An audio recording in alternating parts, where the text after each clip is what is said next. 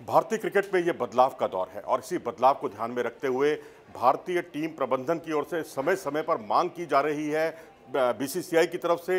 और अब नई मांग जो हुई है वो ये है कि भारतीय टीम के बॉलिंग कोच को बदल दिया जाए। जी हाँ पारस महावरे हैं इस समय भारत भारत के बॉलिंग कोच, जो राहुल द्रविड़ के साथ जब उन्होंने कोच कोच की ज़िम्मेदारी संभाली थी, तब बॉलिंग कोच की भी उन्होंने ज़िम्मेदारी संभाली थी। पारस महामरे इससे पहले एनसीए में थे और यंगस्टर्स को कोचिंग दिया करते थे और तब राहुल द्रविड़ के साथ उनकी जुगलबंदी देखते ही बनती थी और ये एक ऐसा खिलाड़ी रहा जो दो टेस्ट, तीन वनडे मुकाबले भी खेल चुका है और उसके अलावा एक युवा पौध को तैयार करने में इनका बहुत बड़ा हाथ रहा है और इतना ही नहीं, इसके अलावा भारत एक ही कोचिंग हो बॉलिंग बॉलिंग कोच की हैसियत से टीम के साथ जुड़ना हो या अंडर 19 की टीम के साथ जुड़ना हो या फिर बंगाल की टीम 16 साल के बाद जो फाइनल में पहुँची है, वो इन्हीं की कोचिंग के अंडर पहुँची है। इसके अलावा विदर्भ हो, महाराष्ट्र हो, इन तमाम टीमों की वो कोचिंग कर चुके हैं। लेकिन अब परिवर्तन का दौर है, बदलाव का दौर है, जैसा कि मैंने आपको कहा।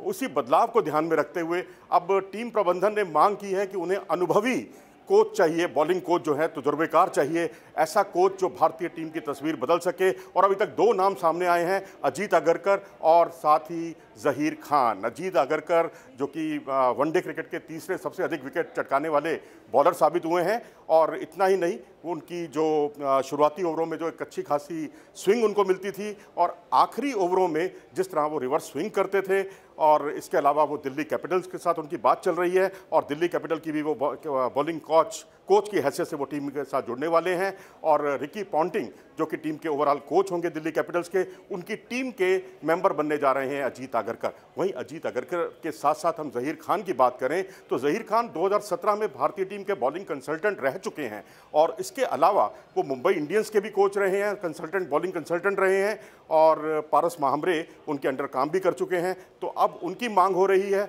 लेकिन पहले भी उनसे मांग की गई थी, लेकिन उन्होंने कहा था कि वो पूरा फुल टाइम वक्त नहीं दे पाएँगे भारतीय टीम को, लेकिन एक बार फिर से उनको मनाने की कोशिश हो रही है। क्योंकि बीसीसीआई जानता है कि समय तो राहुल द्रविड़ के पास भी नहीं था, लेकिन राहुल द्रविड़ को जय शाह ने और सौरभ गांगुली ने जिस तरीके से मनाया और वो उसके लिए तैयार हो गए। तो अब जहीर खान को भी मनाने की कोशिश हो रही है और जहीर खान के बारे में मैं आपको बता दूँ कि ये शुरुआती ओवरों में बहुत अच्छा स्विंग करते थे दोनों दिशाओं में, दोनों और उनकी मूवमेंट होती थी बॉल और उसके साथ ही पुरानी गेंद से रिवर्स स्विंग करने की कला में भी वो सिद्धस्त थे।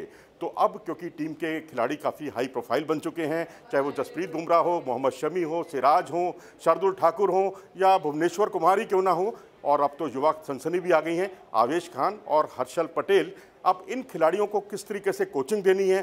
तो टीम प्रबंधन को ऐसा लगता है कि पारस महामरे अकेले पड़ रहे हैं और बॉलिंग भारत का बहुत ही एक ऐसा विभाग है जो भारत की बल्लेबाजी की कमज़ोरी को ढक सकता है, जैसे हाल में भारतीय खिलाड़ियों ने, भारतीय गेंदबाजों ने बखूबी ढका भी है और भारत को शानदार जीत भी दिलाई है। तो ऐसी स्थिति में अजीत आगरकर का रुख क्या होगा? क्या वो कमेंट्री पैनल को छोड़कर यहाँ पर आएँगे? क्योंकि अभी वो जुड़े हुए हैं दिल्ली कैपिटल्स के साथ, मौजूदा सीज़न के लिए, और वहीं मुंबई इंडियंस के साथ जुड़े हुए हैं जहीर खान।